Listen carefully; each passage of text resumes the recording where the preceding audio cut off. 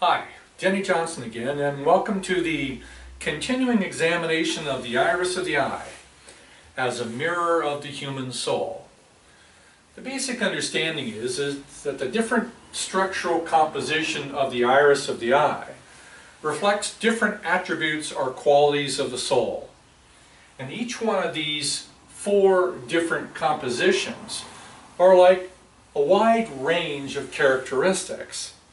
But this wide range of characteristics has a dynamic experience involved in it. These are feeling experiences of the soul's animation through the body. This pattern here is a composition of open web fibers like petals of a flower and individual little spots. This is a radiant type of individuality that is a composition of the expression or the movement or the display of life. The one next to it, the system of the structure of the eye here is much more dense and fiber arrangements are straight. This has a lot to do with the consistency and the firmness of life. This is a tactile connector. The third one is the composition of the individual flecks or brown dots in the eye. This particular type of soul has the natural desire to seek answers, to discover, to pierce, to look for the truth. The last one over here, these open web petals throughout, but without any of the brown dots inside of it, this one here has a tendency for spatial perception allowing, or the increase of the capacity for feeling or imagination. These four are degrees of extremes of this type. The three of these in this one vertical line are like three examples of this particular type in three different stages. So this dynamic movement-oriented radiant display type is the experience of this feeling within oneself, within the social phenomena, and within greater achievements.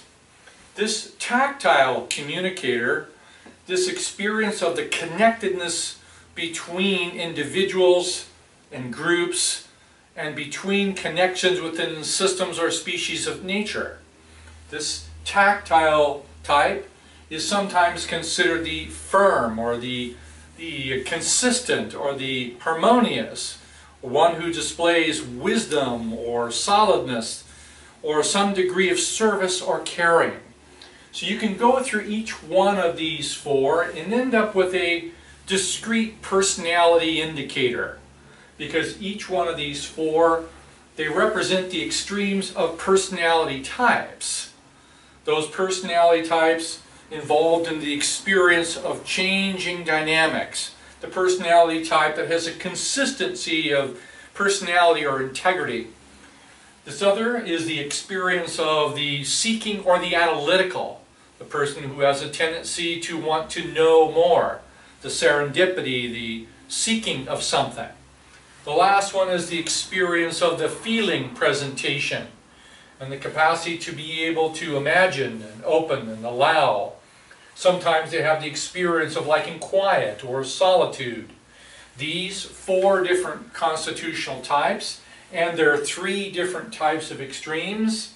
They represent a range of 12 different iris configurations that also represent the different types of personalities that are within us all the time.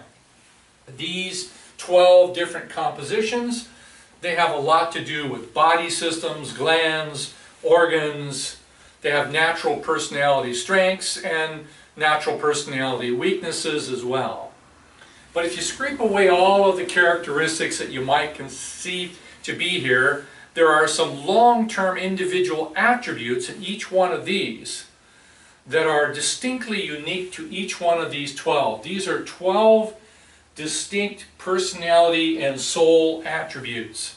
By being able to recognize what they are, how they are, how they feel, how they affect us, has a lot to do with everything about our health, our well-being and our happiness.